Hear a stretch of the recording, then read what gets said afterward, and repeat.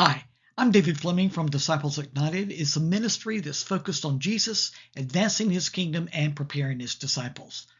Now, the series that you're watching right now, called Bible Treasures, was created to help you memorize scripture.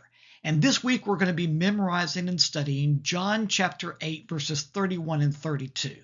So let's get started by looking at the entire passage from the NIV, New International Version. John chapter 8, verses 31 and 32. To the Jews who had believed him, Jesus said, If you hold to my teaching, you are really my disciples. Then you will know the truth, and the truth will set you free. Now, today we're going to memorize the very first part of verse 31. To the Jews who had believed him, Jesus said. Very simple. So let's read that again, and then we're going to try to get it memorized. To the Jews who had believed him, Jesus said. Now, if you can, close your eyes and repeat that from memory. To the Jews who had believed him, Jesus said. Great, very simple.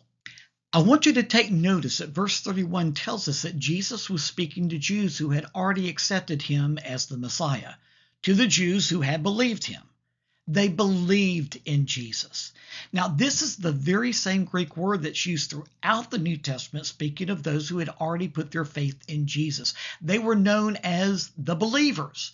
Now, knowing that Jesus was speaking to believers is going to be very helpful for us to understand the powerful truths that this passage is teaching us. So remember, Jesus is speaking to believers in this passage.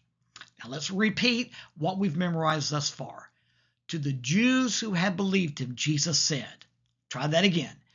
To the Jews who had believed him, Jesus said, now, our lesson today has been very simple. It's just the very first part of verse 31 to the Jews who had believed him, Jesus said, but it has already set before us a good foundation to understand the rest that this passage is going to teach us. So I want you to be sure to join me tomorrow and we're going to learn the rest of verse 31 and we're going to start digging into this passage and really uncover some powerful truths that Jesus has for us. So I'll see you tomorrow.